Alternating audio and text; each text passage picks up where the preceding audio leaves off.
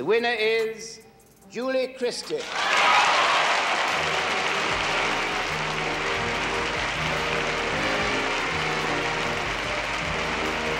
Julie Christie is the Hollywood star, known for always doing things her own way. And honestly, she might be onto something. Being in the public eye all the time comes with the job, but Julie decided to break all the rules and make Hollywood work for her, and not the other way around. This is why you might not know a few things about her because of how private she's always been. But the truth about her life will shock you. What was Julie trying so hard to hide? And what were her love life and career really like? Continue watching to find out.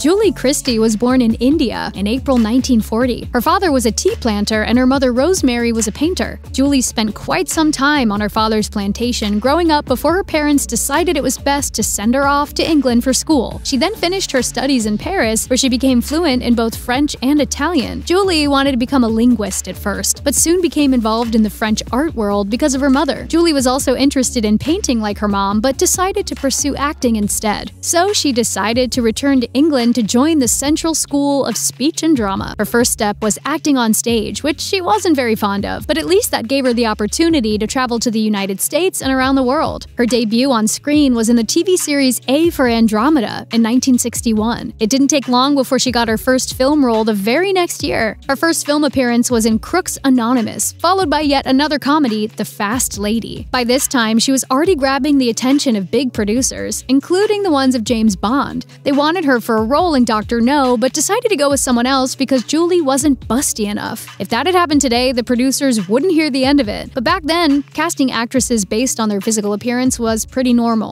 In 1963, she started working with John Schlesinger, who managed to get Julie a more notable role in Billy Liar. Apparently, he already had an actress for the role of Liz, but decided to fire her and get Julie instead. That was definitely the right decision. This wasn't her breakthrough role, but it was good enough for people to start noticing her for the talented and gorgeous gorgeous British star she was. However, her fame skyrocketed when she appeared in the movie Darling, where she played Diana Scott, a social butterfly who turned into a dull socialite. Her performance was so good she won many awards for the role, including the Best British Actress Award from the British Film Academy. Her career was going great, and to top it all off, she also got cast in the movie adaptation of Dr. Zhivago, which showed Julie's real potential. She was born to be a star, and she also raised her prices at this point. No more getting paid $35,000 per movie Julie was now asking for 400,000. One failure in her career that she could never get over was the movie Fahrenheit 451. She was actually really excited about this role because she admired the director, Francois Truffaut, but the film faced many difficulties. The first one is the director's lack of English knowledge, which truly hurt the movie, and then the problem with Julie's co-star. Terence Stamp was clearly the right man for the role, but because he and Julie had been lovers in the past, he wasn't sure if he could act next to her, so they had to hire the next best thing, Oskar Werner. Oskar hated how much attention Julie got, and the movie just ended up being a failure. This is probably what made Christie pickier when it came to accepting roles. She knew her worth, and she didn't want to appear in just any movie. Now she only wanted roles that would reward her artistically, rather than focus on the financial success of the movie. Julie started appearing in way fewer movies, but at least the ones she picked were all worth it. However, one thing Julie never got used to was the fame that came with all of this success. She knew the job came with all the fame and paparazzi, but she decided to spin things around. Ignoring the media and having a private life became her signature move. Julie managed to become an actress and be able to work on her own terms. But did she do this because she wanted to, or because her ex boyfriend made her do it?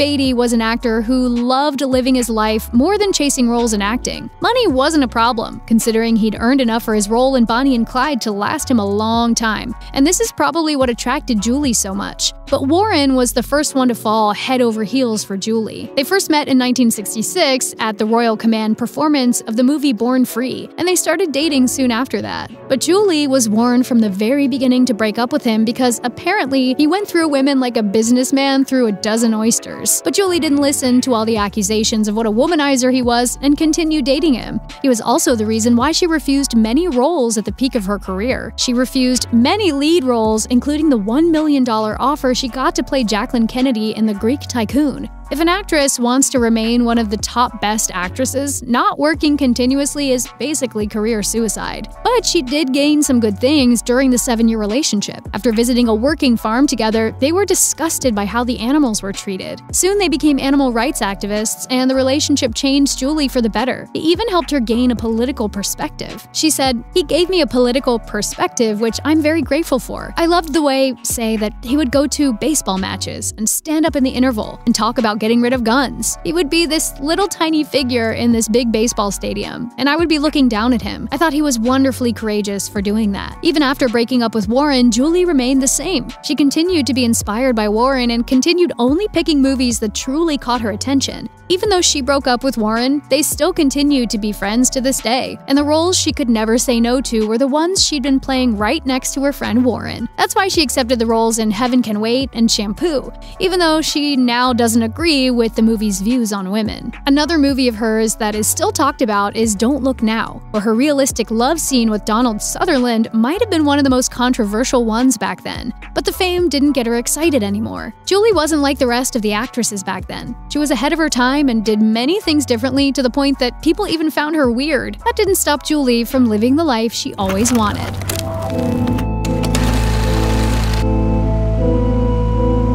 Would cringe if I saw my picture on the cover of a magazine staring out at people who didn't know me, Julie said. And if I saw somebody reading about me, it would be the most horrible experience because I knew they'd be reading a fantasy that would be far removed from anything to do with me. Julie decided to fully turn her back to fame when she moved to a farm in Wales with her husband, Duncan Campbell, and decided to reshape her life. It was almost impossible to ever catch her at a red carpet event, even when it meant missing out on the opportunity to get the awards she won. But breeding sheep on her little farm was far more important.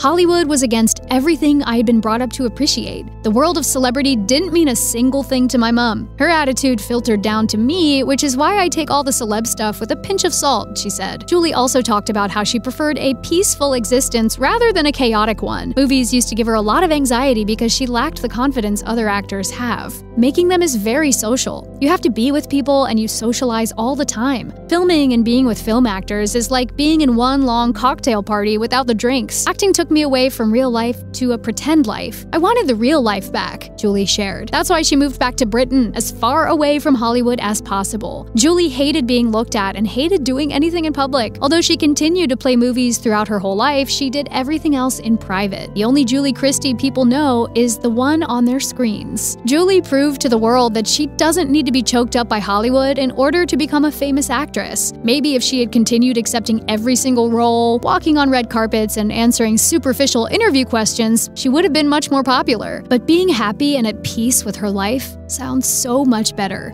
If you enjoyed this video, make sure to watch this other one too.